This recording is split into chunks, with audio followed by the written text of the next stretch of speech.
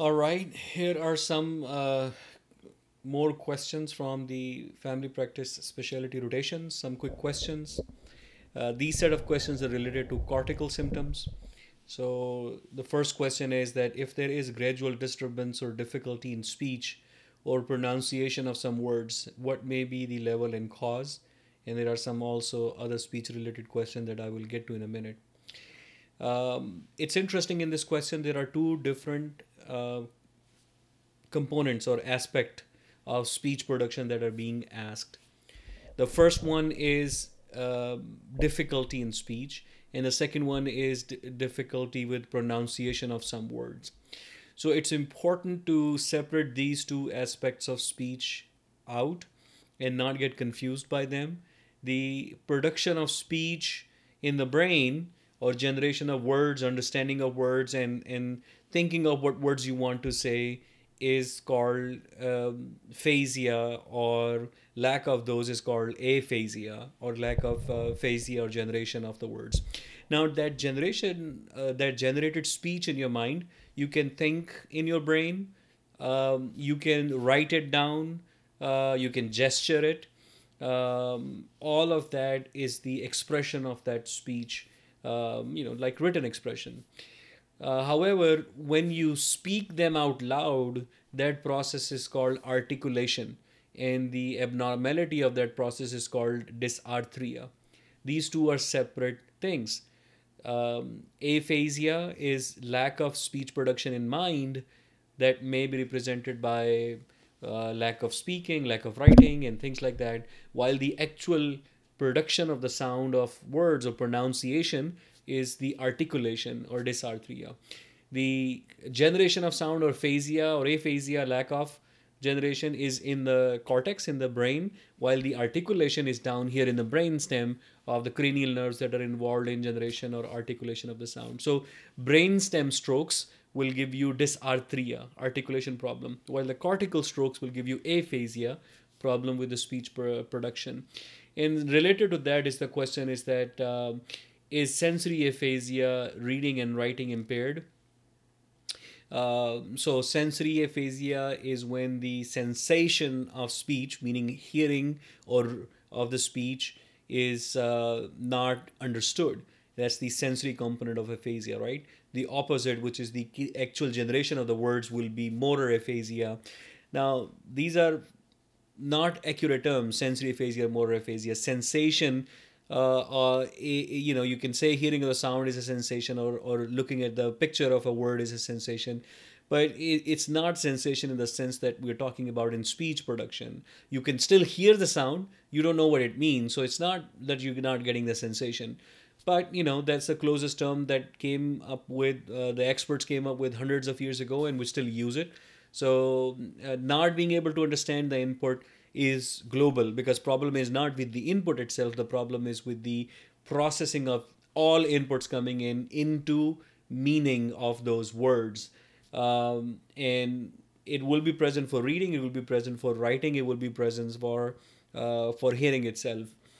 Uh, there could be special circumstances where hearing is not creating meaning but that's not typically what we mean by aphasia but, and let's not go into it.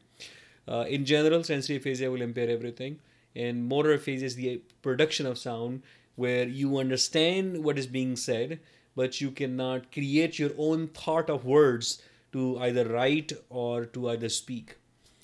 Um, so the question is how to differentiate from history about understanding of speech. So that's that's an interesting question. I guess um, we are uh, trying to ask that um, how to separate out sensory aphasia versus motor aphasia in, in, in between, which we call uh, a global aphasia or conduction aphasia. So let's say you walk into the room and you ask the patient, you know, what day is it?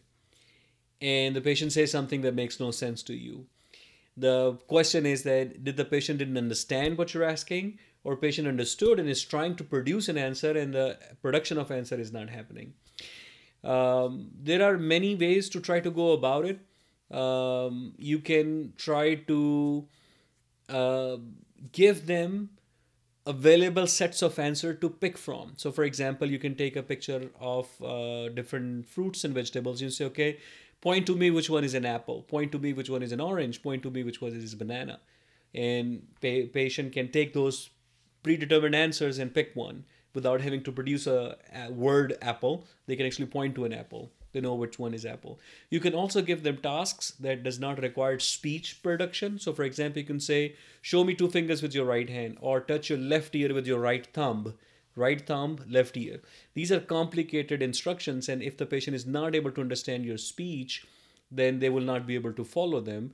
And uh, you uh, especially if you don't show them they can mimic sometime and that can fool you so when you're t- testing for their understanding do not show them what you're asking them to do. So you can say, okay, with, with your hands crossed, you can say, show, touch your left ear with your right thumb and, and see if they're able to do it or, or not. Now, the challenge with this uh, and other speech assessment is that you cannot this this you cannot diagnose someone with aphasia if they're confused if they're significantly confused and disoriented you cannot say patient is aphasic. Just like if the patient is unconscious, you cannot say patient is aphasic. You don't know because patient is unconscious.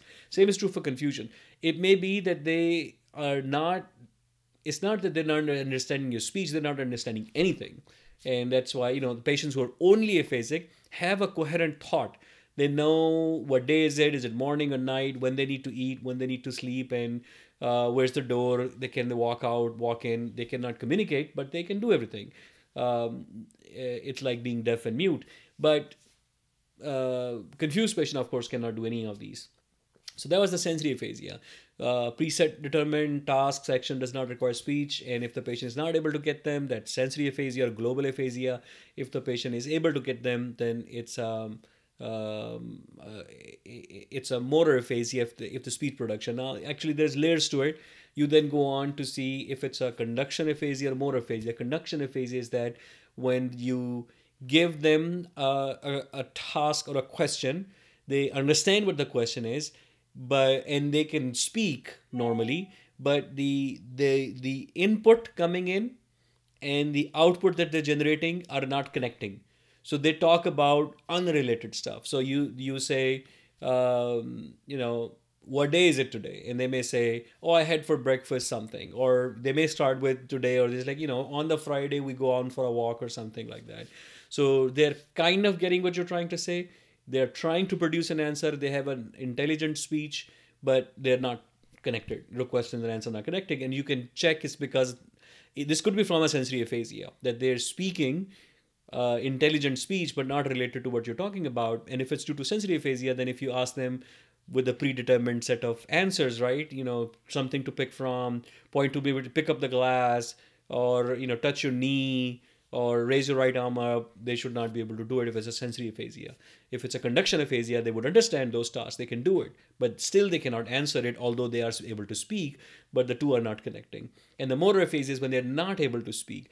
So they speak gibberish. They make up words. They could be neologism. They create words they can have paraphasic errors so these are called table a cable or something all sorts of variations are possible but the speech is not a coherent intelligent speech so in a sensory aphasia patient will keep on talking what they want to talk about what are they thinking what they think you're asking and all of that makes sense it's just not related to what you're asking and that's a sensory aphasia with a good speech motor aphasia bad speech you know it's just you could sit there and listen to for five minutes and you, you cannot make sense of what they're trying to communicate to you. And conduction is that they can understand the task, they can speak intelligently, but they're not connecting. What you ask, they cannot answer. That's the conduction aphasia. Now, there are two other categories uh, of aphasias, which are called transcortical sensory and transcortical motor, but we will not go into that.